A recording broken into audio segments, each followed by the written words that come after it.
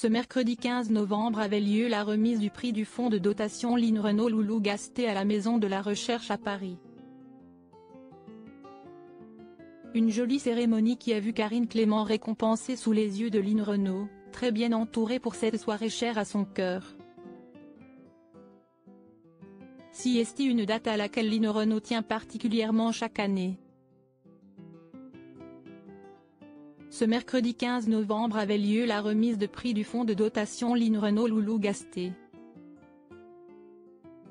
L'événement s'est déroulé à la Maison de la Recherche à Paris avec de nombreux invités.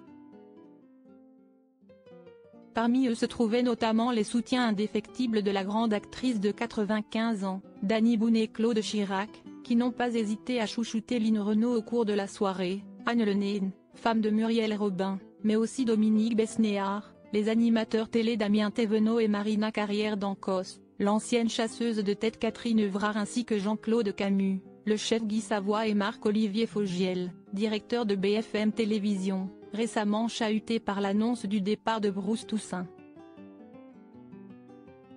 Dans l'Assemblée se trouvait également l'ex-ministre de la Santé Olivier Véran, désormais porte-parole du gouvernement, Christine Rouziou, professeure en virologie à l'hôpital Necker, la ministre chargée de l'organisation territoriale et des professions de santé Agnès Firmin-Lebaudot, le directeur général de Mauboussin Alain Marc ainsi que Denis Duverne, président du conseil d'administration du groupe AXA et François Patou, directeur du laboratoire de recherche translationnelle sur le diabète, lauréat du prix en 2022. Tous étaient présents pour saluer l'implication de Lynn Renault et assister à la remise de prix. La récompense a été attribuée à Karine Clément, professeure en nutrition à la Pitié-Salpêtrière et directrice de l'unité de recherche sur nutrition et obésité comme indiqué sur le site Caducé.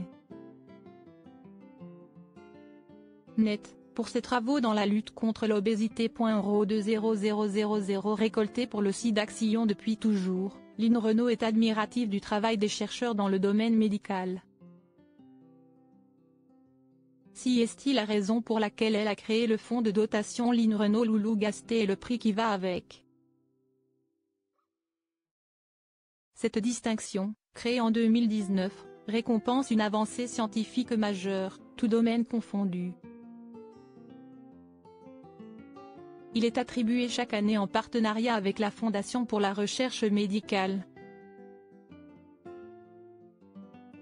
et accompagné d'une dotation financière de 60 000 euros aux chercheurs désignés et à son équipe lit-on sur le site de la Fondation.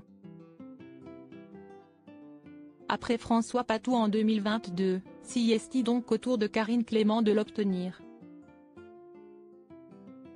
En plus de cette belle récompense, 20 000 euros ont été récoltés pour l'association SIDAction qui lutte contre le sida et dont Line Renault est la vice-présidente. Encore une soirée réussie pour l'ancienne meneuse de revue qui compte bien, malgré sa santé de plus en plus fragile, 95 printemps, ce n'est pas rien, mener ses combats jusqu'au bout.